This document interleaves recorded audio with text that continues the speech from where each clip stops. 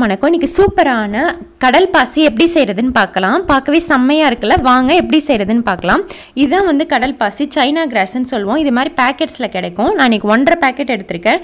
ஒன்று வந்து பத்து கிராம். அதனால் நான் பதினஞ்சு கிராம் கிட்ட எடுத்து ஒரு பத்து நிமிஷம் கொஞ்சம் தண்ணி விட்டு ஊற வச்சுருக்கேன். இந்த மாதிரி ஊற வச்சுருங்க. கட் பண்ணிட்டீங்கன்னா ஈஸியாக இருக்கும் உங்களுக்கு. இப்போ ஒரு பாத்திரத்தில் முக்கால் லிட்டர் நம்ம தண்ணி வச்சுக்கலாம். ஒரு பேக்கெட்டுக்கு அரை லிட்டர் அளவு கணக்கு. ஸோ முக்கால் லிட்டர் தண்ணி நல்லா கொதிச்சதுக்கப்புறம் நம்ம ஊற வச்சுருக்கோம் இல்லையா கடல் பாசி. அதை எடுத்து இதில் ஆட் பண்ணிக்கலாம். ஆட் பண்ணிவிட்டு லைட்டாக ஒரு மிக்ஸ் கொடுத்துக்கோங்க. அதுக்கப்புறம் நம்ம சுகர் உடனே ஆட் பண்ணிடலாம். நான் இன்றைக்கி வந்து நூற்றம்பது கிராம் சுகர் எடுத்திருக்கேன். உங்களுக்கு நிறைய ஸ்வீட் வேணும்னா இன்னும் கூட போட்டுக்கலாம். கம்மியாக வேணும்னாலும் குறைச்சி போட்டுக்கலாம். உங்களோட விருப்பம் தான் அது. சுகரையும் கடல் பாசியும் ஒன்றாவே போட்டுட்டு நல்லா இந்த மாதிரி கிண்டி விடுங்க. இதுக்கு பதம் பக்குவம் அப்படின்லாம் எதுவுமே கிடையாது. நல்லா கரைஞ்சோன்னே நம்ம எடுத்து ஃபில்டர் பண்ணிட வேண்டியதான் இப்போ நல்லா அது கொதிக்கட்டும். நல்லா கரையிற அளவுக்கு அது கொதிக்கணும். இடையில எடுத்து பாருங்கள் அது உங்களுக்கே தெரியும் கரையாமல் இருக்கிறது. அப்படி இருந்துச்சுன்னா இன்னும் கொஞ்சம் நேரம் கொதிக்க விடலாம். இப்போ நான் பார்த்தேன் இன்னும் இருக்குது அதனால் ஒரு அஞ்சு நிமிஷம் கொதிக்க விடுறேன். திரும்ப எடுத்து பார்த்துறப்போ ஃபுல்லாக சூப்பராக கரைஞ்சிருச்சு. இப்போ நம்ம ஸ்டவ் ஆஃப் பண்ணிடலாம். ஆஃப் பண்ணிவிட்டு இன்னொரு பா பாத்திரம் வச்சுட்டு அதை ஃபில்ட்ரு பண்ணிடலாம். ஏன்னா கொஞ்சம் சில இது கரையாமல் இருக்கிறதுலாம் அதுவும் நமக்கு கிடச்சிரும் கையில். அதனால தான் இதை ஃபில்ட்ரு பண்ணுறது இப்போ ஃபுல்லுத்தையுமே ஃபில்ட்ரு பண்ணியாச்சு. பாருங்கள் கொஞ்சமாக வந்திருக்கு இல்லையா? அதனால் எடுத்தாச்சு அதெல்லாம்.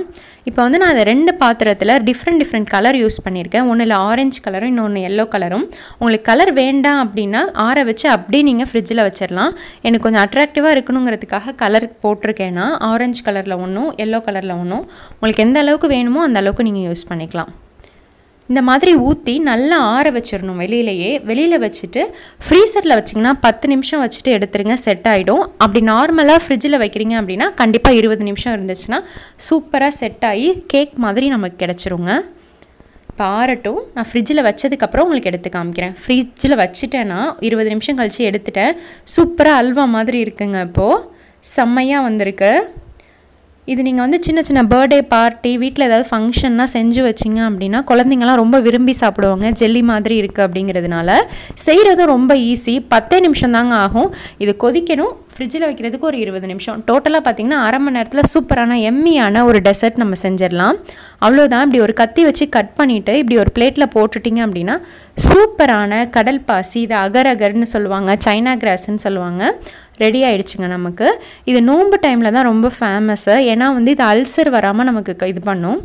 ஸோ நார்மல் டேஸ்லேயும் நம்ம யூஸ் பண்ணலாம். இது சம்மருங்கிறதுனால அடிக்கடி இந்த மாதிரி செஞ்சு கொடுக்கலாம். பிள்ளைங்களுக்கு நம்மளும் கூட சாப்பிட்லாம். செம்மையாக இருக்குங்க. அவ்வளோதான் ஃப்ரெண்ட்ஸ் கண்டிப்பாக இந்த ஈஸியான ரெசிபியை ட்ரை பண்ணி பார்த்துட்டு எப்படி இருந்துச்சுன்னு எனக்கு கமெண்ட்ஸில் சொல்லுங்கள் தேங்க்யூ